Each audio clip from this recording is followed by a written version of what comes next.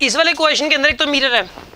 इसका radius of रहेगा वो फोर्टी सेंटीमीटर राइट ये एक बाउंड्री है बाउंड्री ये एन इक्वल टू वन है, ये एन इक्वल टू टू है। इन दोनों के बीच का गैप दिया हुआ है टू हंड्रेड सेंटीमीटर और यहाँ पर एक ऑब्जेक्ट है और ऑब्जेक्ट यहाँ से एटी सेंटीमीटर पर है। इसका आर फोर्टी इसका आर फोर्टी है। आपको ये बताना है कि फाइनल इमेज कहाँ पर बनेगी? क्वेश्चन ये है कि what is the position of final image इस क्वेश्चन में करना क्या है कि यहाँ से लाइट निकलेगी, पहले से रिफ्लेक्शन का इमेज बनेगी। वो वाली इमेज इसके लिए ऑब्जेक्ट काम करेगी। लाइट रे फर्द इसके ऊपर पड़ेगी रिफ्लेक्ट होगी। फिर रिफ्लेक्ट होगी तो वो एक ये जो मिरर एक इमेज बना देगा, वो इमेज अब इस बाउंड्री के लिए ऑब्जेक्ट काम करेगी। अब वो लाइट रेज होगी, वो इधर से इधर जाएगी। तो ये एनआई हो जाएगा, ये एनआर हो जाएगा इस बाउंड्री के लिए फिर। ठीक है ना? और फाइनल इमेज इधर कहीं आ जाएगी। मेरा मतलब फाइनली रिफ्लेक्टेड रे इसी मीडियम में आएगी।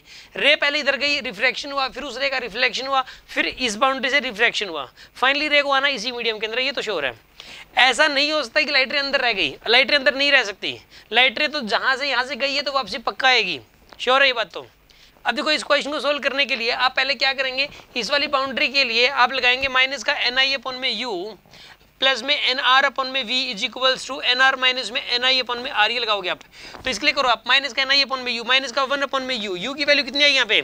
माइनस एटी, प्लस में एन आर अपन में वी। यानी कि टू बाई में V one. Is equal to क्या लिखोगे बताइए? टू माइनस में वन अपन में आर। आर कितना आएगा इसका? Plus forty. अब इसको सोल्व करना है फर्दर। तो यहाँ पर आएगा वन बाई एटी प्लस का two by V one is equals to one by forty. तो टू बाई वी वन की वैल्यू कितनी आएगी यहाँ से? वन बाई फोर्टी माइनस का वन बाई एट्टी तो टू बाई वी वन की वैल्यू कितनी आ गई? यहाँ से बताइए। एट्टी तो आपने एलसीएम ले लिया। तो यहाँ पे कितना आएगा ये? टू माइनस वन यानी कि वन बाई में एट्टी तो वी वन की वैल्यू कितनी आ गई यहाँ से? एक सौ साठ सेंटीमीटर प्लस एक सौ साठ आ गई है हाँ जी वी वन की वैल्यू कितनी आ गई? प्लस वन सिक्सटी तो प्लस वन सिक्सटी आ गई वी वन की वैल्यू तो यहाँ पे लाइट रे इसके ऊपर पड़ी है ऐसे, और यहाँ पे ऐसे यहाँ पे इमेज बन गई इसकी। This is the I one image बन गई। यहाँ से 160 सेंटीमीटर के ऊपर। This is the real image for this boundary इस वाली बाउंड्री के लिए रियल इमेज बन गई। अब ये वाली जो डिस्टेंस होगी कितनी होगी बताइए यहाँ पे? 40 सेंटीमीटर होगी ये वाली डिस्टेंस तो इस मिरर से 40 सेंटीमीटर डिस्टेंस पे होगी ऐसा सोचोगे ऑब्जेक्ट है दिस इज़ ए ऑब्जेक्ट और ये in front of this mirror 40 centimetre distance पे है ये। राइट अब एक काम करो, आप इसके लिए इसके लिए आप सोल्व करो। आप इसके लिए मिरर फॉर्मूला लगाइए अब आप। मिरर फॉर्मूला देखो, इसका जो फोकल लेंथ है वो कितना है? ट्वेंटी है। तो ऑब्जेक्ट इसके टू एफ़ के ऊपर है। ऑब्जेक्ट इसके टू एफ़ के ऊपर है कि नहीं है? तो इमेज भी कहाँ बनेगी? टू एफ़ पे। यानी कि ऑब्जेक्ट यहाँ पर है तो यहाँ पे लाइट इसके ऊपर पड़ेगी नॉर्मली और यहीं पर आगे यहीं पर इमेज बन जाएगी अब। ठीक है, अब फर्दर इसके ऊपर लाइट रे यहाँ से निकलेगी और यहाँ पे इसके ऊपर पड़ेगी। अब इंसिडेंट रे अब ये वाली ray this is the incident ray for this boundary अब ये लाइट रे यहाँ से यहाँ जा रही है तो इस बाउंड्री के लिए ये एनआई है और ये एनआर है। और एक उनके पार्ट के ऊपर पड़ रही है तो आर नेगेटिव लेंगे आप इसके लिए। अब आप इस वाली बाउंड्री के लिए फिर से आप फॉर्मूला लगाएँगे माइनस का एन आई अपॉन में यू प्लस का एन आर अपॉन में V is equals to N R minus में एन आई अपॉन में R this is the formula here अब आप इसको सोल्व करिए आप माइनस का एन आई की वैल्यू क्या पुट करोगे यहाँ पे? टू यू की वैल्यू क्या पुट करोगे? एक सौ साठ। यू की वैल्यू माइनस का एक सौ साठ पुट करोगे, क्योंकि this is the real object for this boundary इस बाउंड्री के लिए ये रियल ऑब्जेक्ट है, क्योंकि ये एनआई है और ऑब्जेक्ट भी एनआई के अंदर ही है।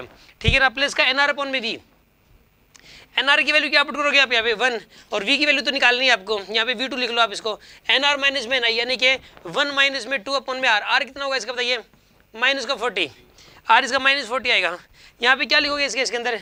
वन बाई एट्टी प्लस का आएगा ये। और प्लस का one by V two is equal to क्या लिखोगे आप यहाँ पे बताइए? वन बाई फोर्टी लिखोगे। अब आप इसको फर्दर सॉल्व करो।